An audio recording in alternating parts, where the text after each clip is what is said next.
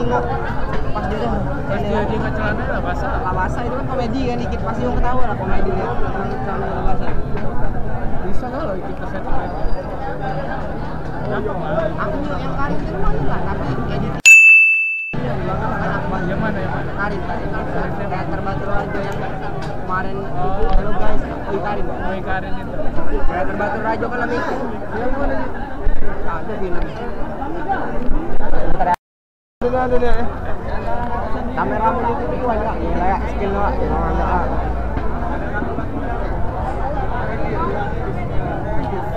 Dulu oi karin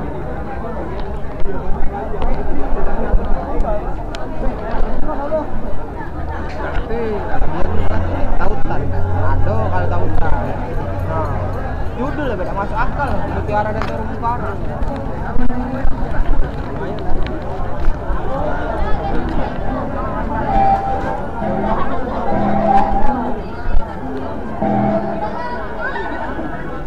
film pendek ketambung mereka komunitas gue bukan ada gue film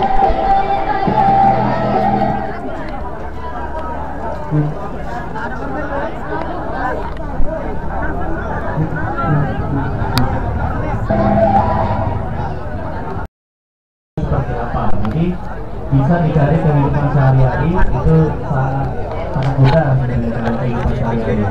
Nah, ketika kita membuat konsep ini, eh, yang harus diperhatikan ialah ketika kalian mau bikin video tentang komedi, ya komedi. gitu. Kalau mau bikin story ya story. Karena Instagram itu banyak sekali bukan bukan sejenis cuma komedi. Jadi ada story, ada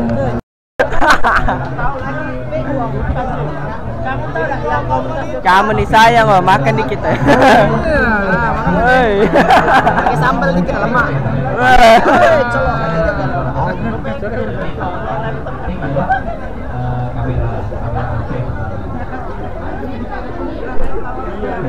tempat baru bukti nah ketika sudah sudah sudah apa tadi? Hazelnut. Hazelnut, iya. terus sebenarnya bahan harus dilakukan jadi lokasi eh, itu tempat mau digunakan yang ada kita kalau mau syuting itu harus lihat dulu lagi apa tadi?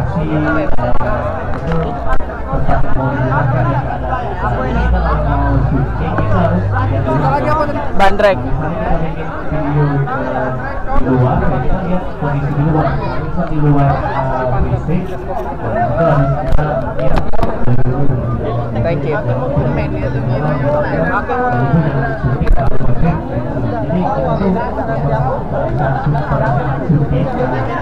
Thank you. Eh, sebenarnya kalau pribadi saya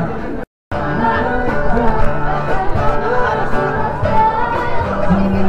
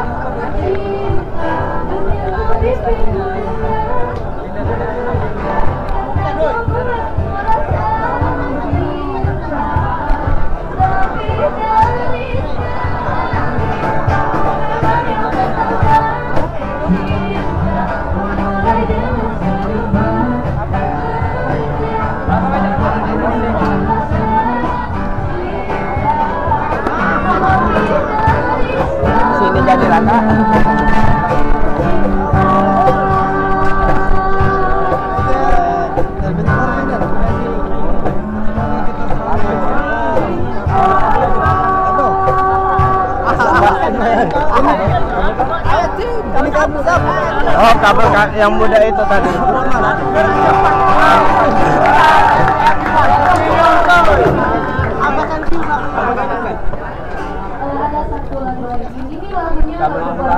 lagu satu untuk Etim. Sudah itu.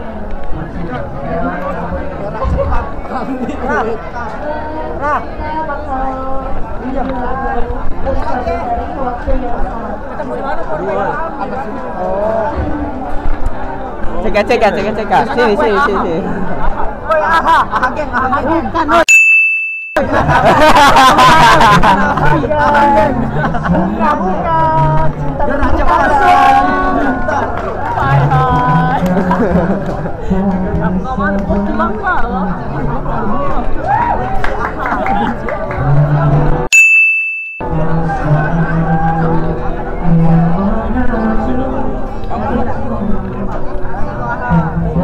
Sama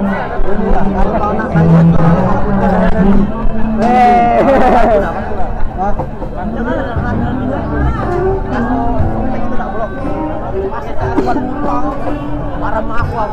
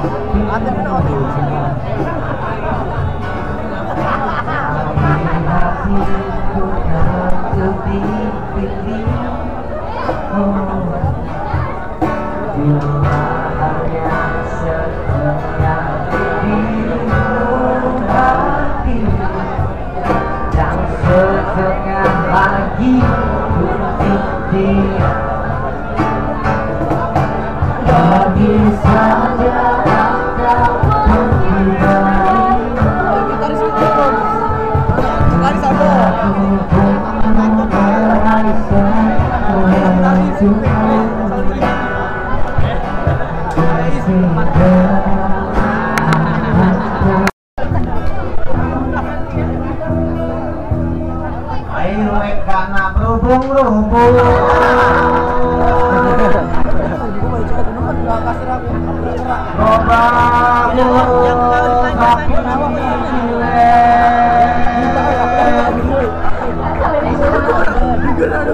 Aku ada biji dua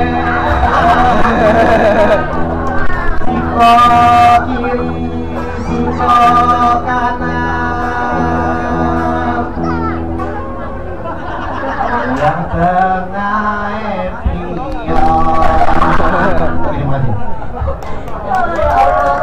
Diterima ya mudah-mudahan ya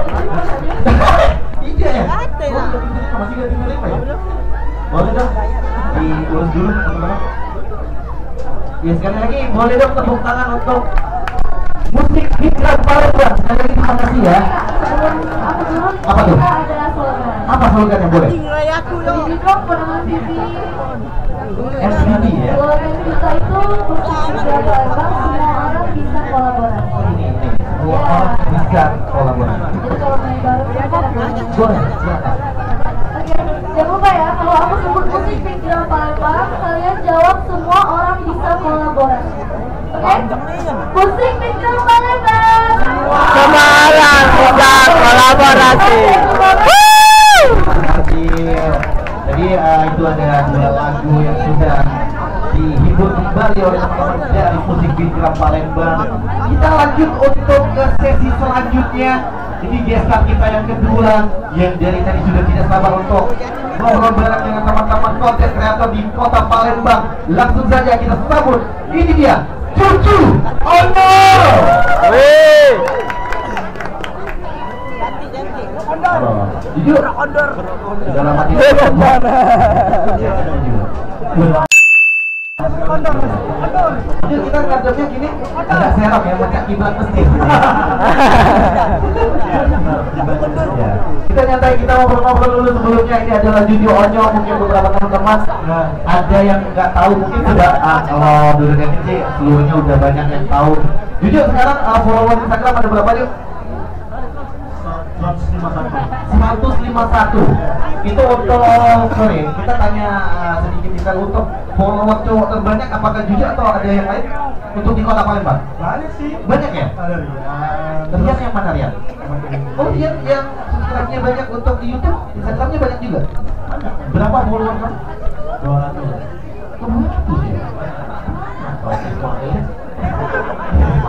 Kalau kita ngomongin sosial media tuh ada yang dikenal ada juga yang enggak tapi di sosial media dia dikenal banget jadi gitu loh Memang ada beberapa genre-genre mungkin kayak Rian ini lebih ke game, jadi anak-anak game lebih banyak tahu gitu ya. kayak kamu deh Apa? kamu kan kalah sama Dio Mana Dio? Dio, kan? Oh Dio itu kecil. Gambaran nih kalau kecil lagi. Aku ya, aku mau polis susah-susah followernya kok dia, wah munculnya tuh cepat. Kok dia konten jelek ya kan? Panas, dia panas. Bukan aku dong, aku dong, aku. Iya. Biar panas, maksud aku tuh jangan ketawa, tahu diri. Harus banyak dong Banyak ya, banyak ya. karena rekam dia Ada semua. Jujur, eh, sekarang sibuk apa untuk saat ini? Ya alhamdulillah kuliahnya udah selesai. Terus sekarang bikin konten sama kerja juga. Dia juga. Kayaknya kalau dilihat beberapa di Instagram sering diundang untuk jadi pembicara ya. ya alhamdulillah. Gara-gara sosial media juga jadi sering mengisi seminar seperti itu sama kayak ini Yuk kita sedikit eh, sebelum mulai kita sedikit menanggapi beberapa yang viral, beberapa eh, konten-konten yang viral di kota Palembang khususnya. Sekarang banyak eh, yang viral ini dengan sesuatu yang mudah, dengan cukup menjawab di Snapgram Q&A. Ada siapa yang banci tuh? Ada eh Asep apa tuh? Asep Asep Maken dia. itu bukan. itu itu ada siapa yang kecil? Eh, lagi sangkaran Siapa namanya yang kecil? Bukan, Barlan yang yang baru. oh ya itu Aldibara, Aldibara. Terus ada juga sekarang kalau tulis bukan Instagram, bukan GG. ini. Sekarang ada Gimana? kalau untuk Jujur sendiri uh, menanggapi tentang uh, Snapgram yang langsung jawab dengan beberapa ada, ada juga yang pada simbol kimpung kimpung sama ketika kimpung itu. Ya gimana kalau menurut aku itu Instagram bagus lah ya. Jadi dia nambahin fitur baru gitu yang membuat orang tuh bisa memanfaatkan itu jadi cuman masalahnya mungkin ada di para kreator lah. Karena mereka kan semuanya